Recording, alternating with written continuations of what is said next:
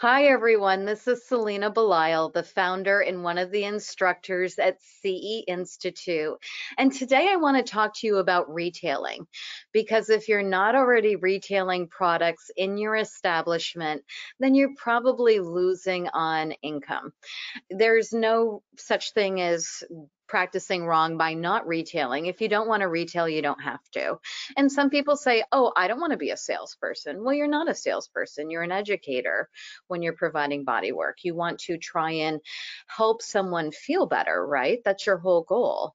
Well, there are take home products that can continue to help that client feel better. And if you're not retailing, those at your establishment. That's just missed income opportunities. There's a fairly good chance that your client, if they're coming to your office for some type of therapeutic benefit, that they're already online shopping for at home products to help them feel better. Um, so if you're not retailing these, it's lost money out of your pocket. You get the benefit of going through and looking at many different product manufacturers and choosing what might be best for them to have at home. And then that's what you would sell in your practice. So today I'm going to review a article that I wrote for Massage Magazine a couple years ago. It's called Seven Ways to Promote Retail, Retain Clients, and Make More Money.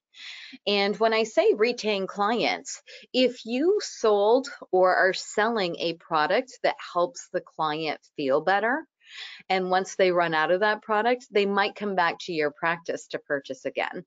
Now, they might go on Amazon too and try and find it there. But if they know it's easily available at your practice, and I'm recording this during COVID when we have huge product and supply shortages, sometimes you can't even get it on Amazon. It's sold out, right? Um, some of the things you need. So um, it's really nice to have retailing at your establishment. I want to say that 20% of your income on average should be product sales. That's an industry standard for the spa industry, and I feel that should also be for the bodywork industry. I, I think it's pretty easily achievable. In my businesses, we usually had a 25 to 30 percent of a, um, a growth with just coming from product sales.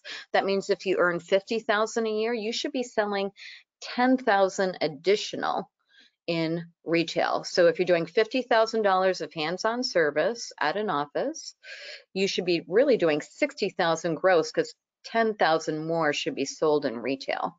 That's not your profit margin, those are your grosses. If you're doing 100,000 of hands-on service at your office, then you can sell uh, 120,000 hopefully gross with 20 grand being retail sales. Now, if you have an outcall practice, it's kind of hard to retail.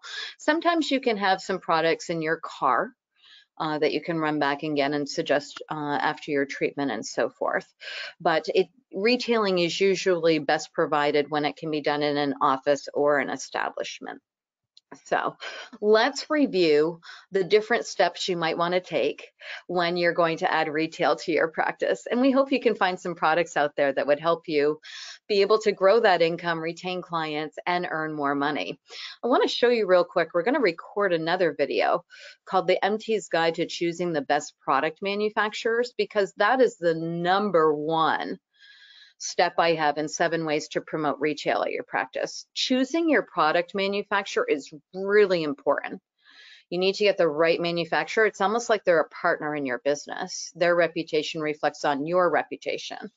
Okay, so I'm going to go through some uh, little quick bullet points about choosing a product manufacturer. But if you haven't chosen a product manufacturer yet, please look for our other training, similar to how you just found this one of how to best choose that product manufacturer. That's really very key in retailing.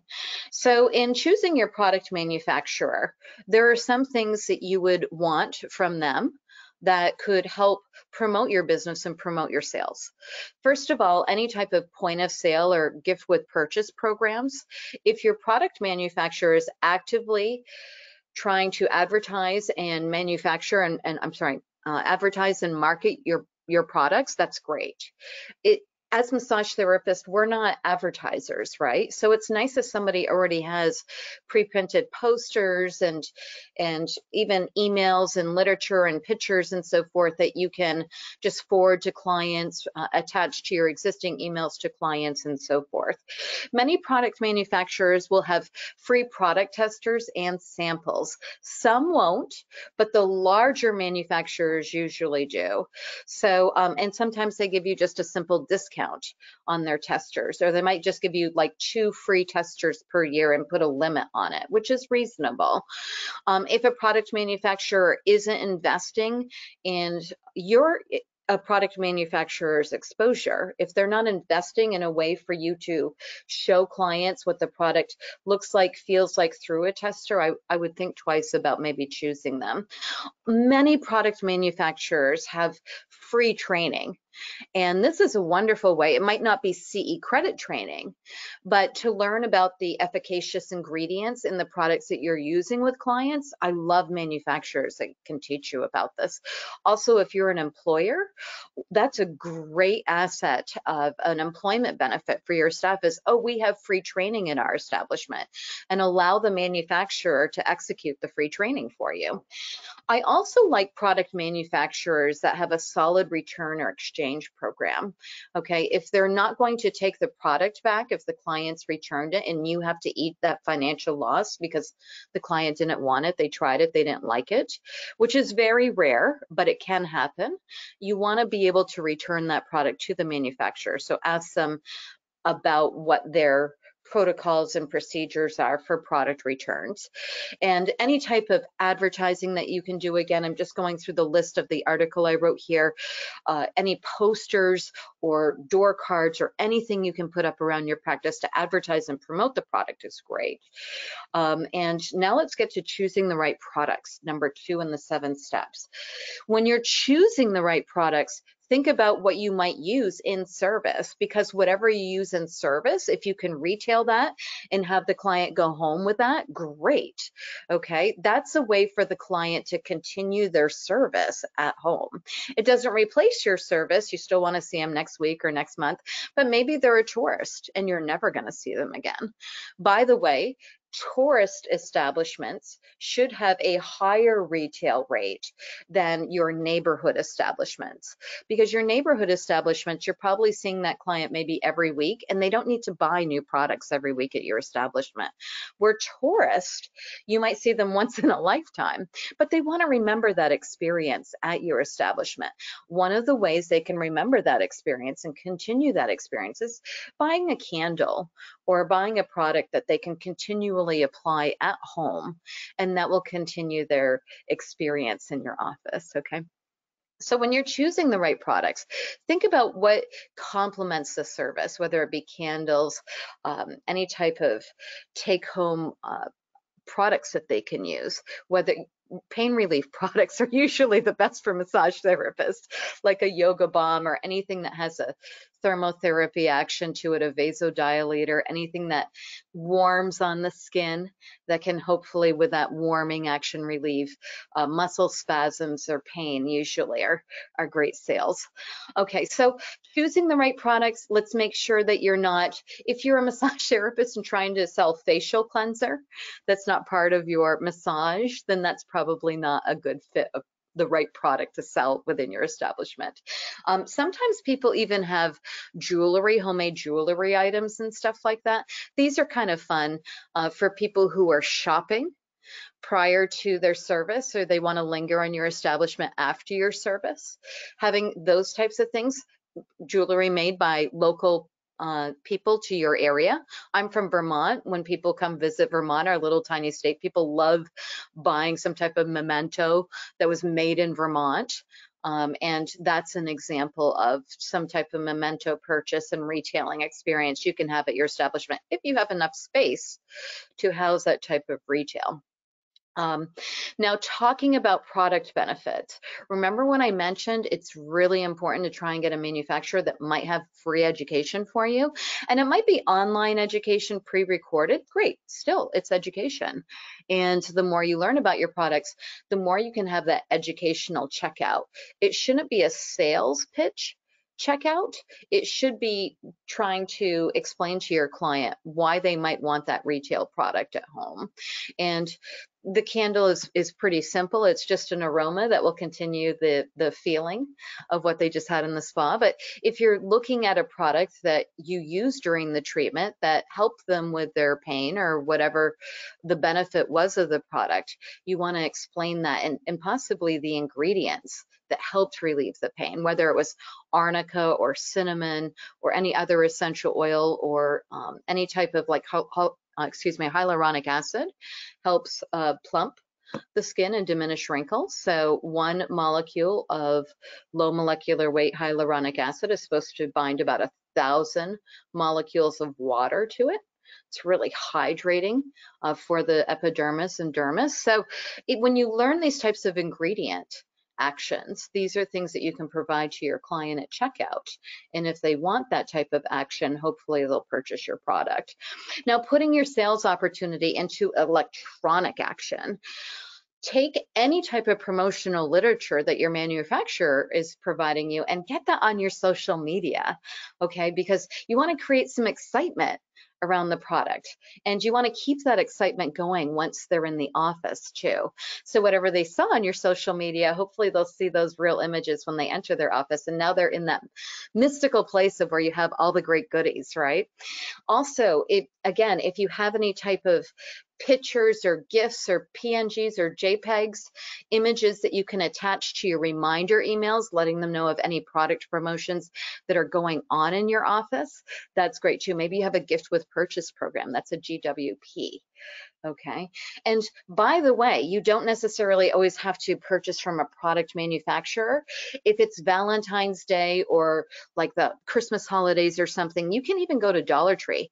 Make sure you get a wholesale uh, certificate to, so you don't have to pay the, the sales tax. And you can purchase like some um, uh, little dollar candles that are uh, of pine scent. And I would try and find name brand products at a company like Dollar Tree, um, but you can resell these at your establishment. Okay, so it doesn't always have to be from a big product manufacturer. Big Lots is another place where you can go in with your wholesale certificate and uh, acquire inventory on a pretty inexpensive uh, cost basis. You're going to avoid shipping because you're picking it up at the at their store and you can then bring it back to your establishment and retail it, usually with great profit margins. So once you have your product manufacturer, if there's any literature, you're going to put it online, uh, posters and so forth, take pictures, attach these to your emails do you can even make your own advertisements. Valentine's day you can cut out hearts and write different things on like some red construction paper right? You can you can uh, type on your own computer and print and then cut out a heart and and write your own promotion and make your own posters around the office. Now product display and merchandising is really important. If you have professional manufacturers they'll probably give you some merch merchandising material which is always helpful. And it's really nice to have any type of products that you're promoting for any particular month or at, um, maybe it's bridal season or something like that to just pile some of this product up at the cash register okay? That's why at the checkout line there's heaps of product at the grocery store and any checkout in a retailing situation. Those last minute eye-catching purchases are uh, pretty big. So we want to take advantage of that too. Your checkout if you want to retail it should not be an empty counter. It should have retail all over it so that a client they might oh you know what? I was missing this i'm going to grab one of these and hopefully that will obviously help your income. Now the educational checkout. As I mentioned earlier, education from your manufacturer about your product ingredients and why it's effective and why the client might want it at home. This is key. So if you can get education from your product manufacturer, great. You're going to share this education at the checkout. Hopefully there's a tester where the client can feel, smell uh, the product, look at the box or the, the product itself of the list of ingredients, make sure they're not allergic to anything in the product, see the active ingredients that they might want to acquire to continue their therapeutic benefit if that's what you're retailing. There's many different things you can do in your educational checkout and professional product manufacturers will usually have greater information to share with your clients about why you would want their products. So I hope this helps you find some reasons of why you would want to retail in your establishment. It's not just about becoming a salesperson.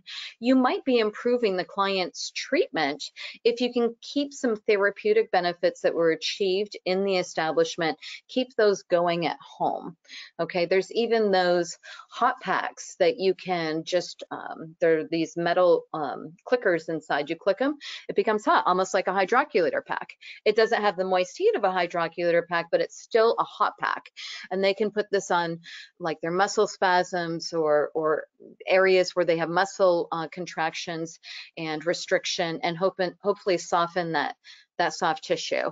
And these are at home packs. They just boil them and that makes them all collagenous or, or, the viscosity change. And it'll be room temperature and then they just do the clicker again when they want to heat that pack. Those types of retail items they're they're you know they might sell for like a hundred dollars Okay, and, and that's a great uh, little um, asset and benefit to add to your practice and increase your sales.